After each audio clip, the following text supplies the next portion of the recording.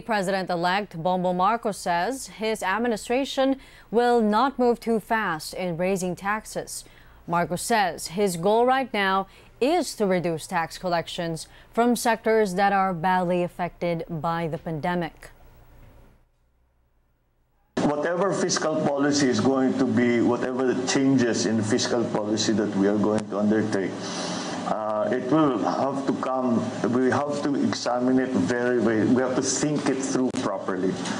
Uh, so, yung mga pabigla-bigla na tinataas, binababa, uh, hindi natin magagawa yun dahil kung gawin natin yan, it will, uh, eh, we, if there are too many moving parts, you cannot anticipate what will happen. So my approach to the uh, fiscal policy, first is to codify it, to make it simpler, to make it more understandable, number one. Uh, secondly, is to reduce as much of the tax uh, collections from those who are uh, suffering from the pandemic, the effects of the pandemic. Uh, that means MSMEs, uh, agricultural sector, uh, transport, yung. So natin. Let's hope we can raise funds in another area and use it there.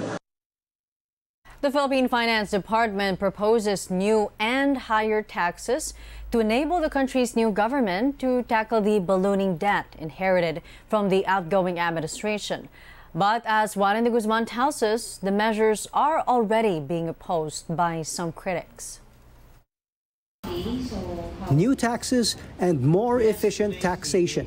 These are the proposals of the outgoing Duterte cabinet for the incoming Marcos administration as they face 3.2 trillion pesos in COVID-related debt, with principal payments due as early as 2023. The Fiscal Consolidation and Resource Mobilization Plan says borrowing to pay down the debt is not an option, as total programmed outstanding debt is already set to hit 13.1 trillion pesos by the end of 2022 and the Philippine debt to GDP ratio is already above the internationally accepted threshold of 60% for prudential fiscal management. The DOF says cutting spending is also not an option because more spending in infrastructure, including the continuation of the Build, Build, Build initiative, is vital to growth.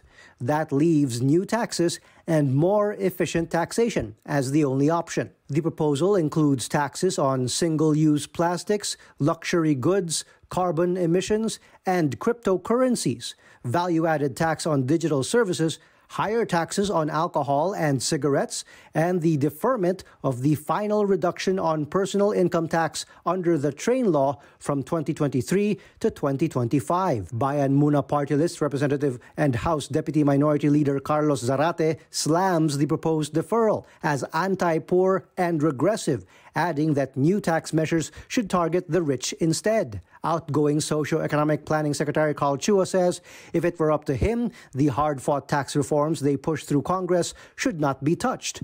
But he defers to the DOF on the matter. He, however, believes the new government should live within its means.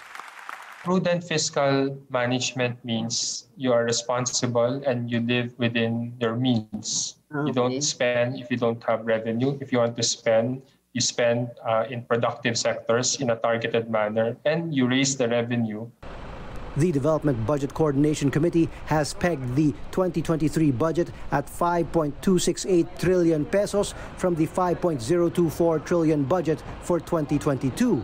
Chua says the best way to raise tax revenues is to grow the economy fast enough so revenues take care of themselves. For him, the best way to push economic growth to its full potential is to fully reopen the economy with 100% face to face learning in all schools. That will be the responsibility of Vice President elect and incoming Education Secretary Sara Duterte. Median age of the Philippine population is 24 years old. So 50% are below 24 years old and 40% are below 21 years old. In other words, 40% of the economy or the population are in school. And that's a big driver of economic activity. Chua adds 20% of the Philippines is still under the stricter alert level 2 due to low vaccination levels. He says these regions, including parts of Mindanao and Cordillera, need to be assisted in their vaccination effort so the economy can reach its full potential. Both the DOF and NEDA say they stand ready to brief the transition team of the Marcos administration. Incoming Socio-Economic Planning Secretary Arsenio Balisacan has declined interviews while he gets up to speed with the Marcos administration's economic plans. Warren de Guzman, ABS-CBN News. State health insurer PhilHealth justifies the need to implement a contribution hike in June.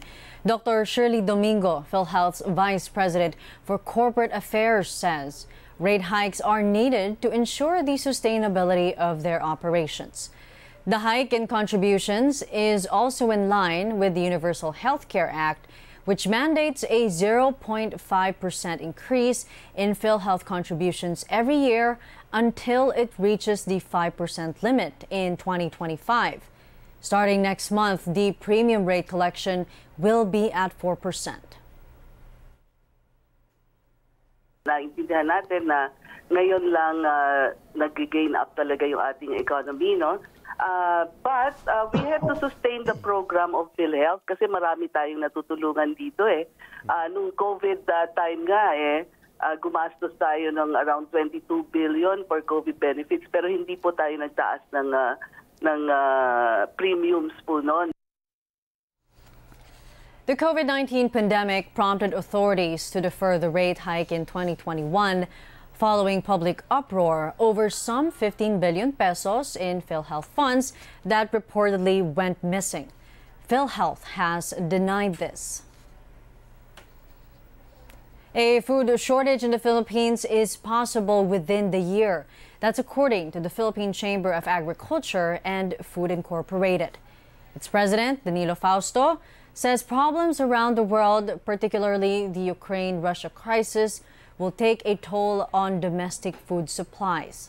He adds the food shortage may happen by the fourth quarter of the year. The war in Ukraine is battering a food system that is already weakened by COVID 19, climate change, and an energy shock. Philippine agriculture, as always, has been experiencing difficult times right now.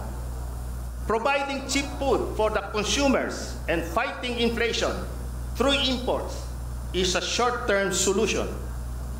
Producing our own food requirements, although a much longer process, will be more sustainable for our people.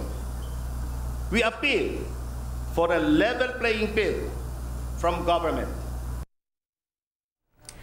The group is now urging the incoming administration of Bongbong Marcos to hike its budget for the Agriculture Department and implement stricter measures against smuggling. They also highlight the need for stronger biosecurity measures at ports to prevent the entry of diseases like avian flu and African swine fever.